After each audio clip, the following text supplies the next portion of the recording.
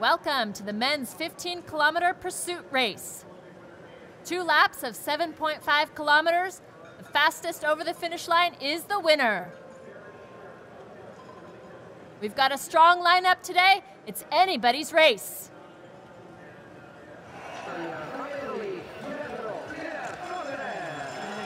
And at the start, we have our favorite and the oldest competitor in the lineup, Pietro Piller Cottrer.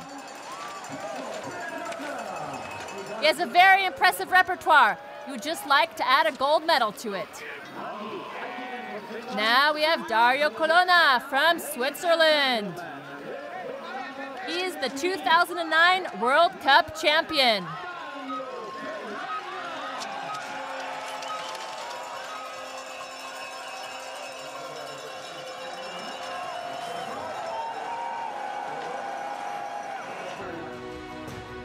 And Lukas Bauer from the Czech Republic. He was the silver medalist in Turin in 2006. and he walk away with gold today? Piller Cottrer looking strong. Coming in on the hairpin turn. Powering up that hill. Piller Cottrer has 30 podiums in the World Cup to his name. He was also World Cup champ in 2005. And he's ahead by nearly 10 seconds at the intermediary. Piller Cottrer going for gold. And he's coming into the finish. Pushing hard, he's in pain, but he's fighting through it. His muscles are burning. He's going for the gold. Will he be fast enough? Piller Cottrer takes first place by 27 seconds. He's in provisional standings, but there are a few racers behind him.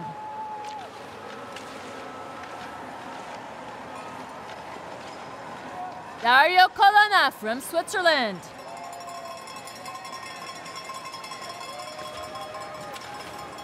He had an injury in his thigh this past fall. Will he be able to work through it to get onto the podium today? He's looking good.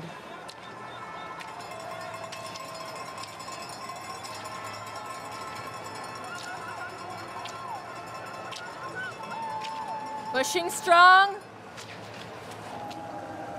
And now Lukas Bauer from the Czech, coming around the turn.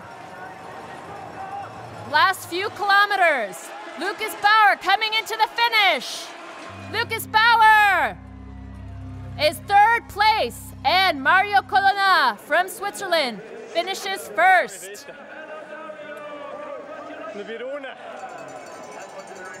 Dario Cologna, gold medalist.